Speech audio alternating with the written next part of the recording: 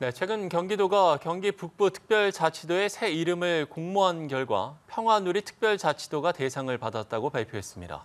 이를 놓고 반대 청원이 올라오는 등 논란이 계속되고 있습니다. 실제로 도민들의 반응은 어떤지 서승택 기자가 직접 들어봤습니다. 경기도가 추진 중인 경기 북부 특별자치도의 이름 공모 결과 대상으로 선정된 이름은 평화누리 특별자치도. 기존 경상남북도, 전라남북도 등 단순히 도를 남북으로 나눈 것과 달리 새로운 이름을 붙인 것에 대해 도민들의 반응은 엇갈렸습니다. 경기 남북도로 나눌 필요가 없는데 굳이 나눈 것 같고 이름도 좀 이상한 것 같습니다. 평화누리 입에도 안 붙어요. 그냥 우리가 일반 사람들이 알기 쉽게 경기 뭐 남북도로 하든지 뭐 다른 이름으로 했으면 좋겠습니다.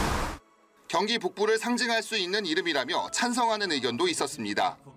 공모해서 평화누리 자치도라고 뽑혔는데 그 이름도 제가 볼 때는 그 북쪽하고도 경계에 있고 그러니까 그런 이름도 괜찮다고 생각해요.